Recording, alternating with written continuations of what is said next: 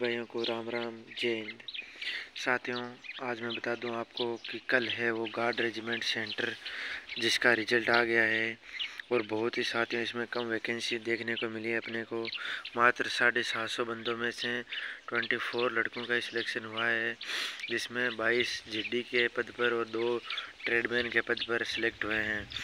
और मैं बता दूँ साथियों इनमें एनसीसी के जो तीस बंदे थे, मात्र उनमें से है वो चौदह बंदों का सिलेक्शन हुआ है। बाकी चार बंदे हैं, उनके फादर रिलेशन होम सेंटर है, उनका सिलेक्शन हुआ है। और चार वार विडो वाले बंदे हैं। तो भाइयों, इस लिहाज से, जिस तरीके से घाट सेंटर का रिज़ल्ट आया है, देखा जाए तो बहुत ही अब की बार जो अग्निवीर की प्रोसीजर है, बहुत हार्ड कर दी गई है, जिसके अंदर एनसीसी के सारे बंदों का भी सिलेक्शन नहीं हो पा रहा है। तो साथियों आपकी क्या राय है रिज़ल्ट के बारे में? ज़रूर शेयर करें, बताएँ।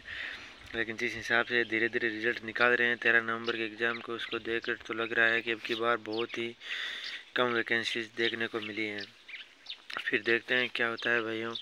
रिज़ल्ट जल्दी सभी धीरे धीरे एक एक करके सेंटरों का आ रहा है। क्या रुझान आते हैं? जल्दी नज़रें टिकाए रखिए इस चैनल पे, अग्निवीर व्लॉग्स पे।